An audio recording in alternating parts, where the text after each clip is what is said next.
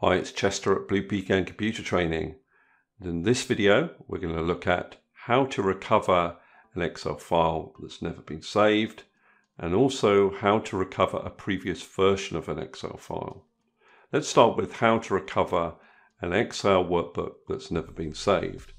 So this workbook here, loads of data in, I never got around to saving it, and for some reason I've closed it without saving. So how do I get that data back? Well, I go to File, Open, go down to Recover Unsaved Workbooks, and there is your workbook. Click on Open. It says up here that this is a recover file that is temporarily stored on your computer, so eventually it will be deleted. So what you need to do is do a Save As, decide where you're going to save the file, give it a name, and then it's saved. Now let me just show you some settings in Excel that affect that functionality.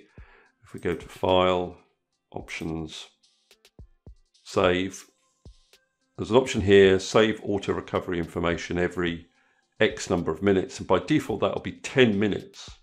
But you can change it to a different number of minutes if you so desire.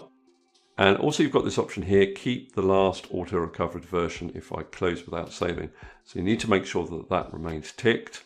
And what happens is, that the last temporary file that it creates up here, auto recovery version, is kept if you close the file without saving. And this is the location where it saves those files. Click on OK.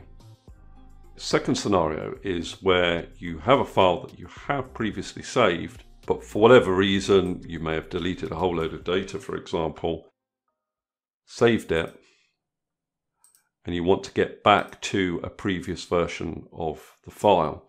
Now the way to do this is to go to File, Info, and then you'll see in the version sections here, you'll have the auto-saved versions of this file. Previously, Excel created an auto-save version. If I click on it there, you can see that I now have all the data in my file. And what I can do here is click on Restore, Click on OK here, and it's overwritten the previously saved version with the version that I can see on the screen. Now, if you have saved your workbook on the OneDrive in Excel 365, the process is slightly different. So let's open up the file in Excel 365. So I'm in Excel 365 and this file is saved on the OneDrive. Auto saved is turned on. What I'm going to do is delete a whole load of data the file gets automatically saved and I want to return to a previous version.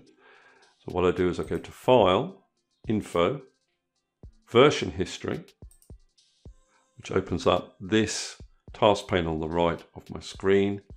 And here I can see previous versions of the document as saved on OneDrive. What I can do is just click on the last saved version and then I can restore. And now I have all the data in my file again. Okay, that's all I wanted to cover in this particular video. Hopefully that's useful. If it is, please subscribe and I'll see you next video.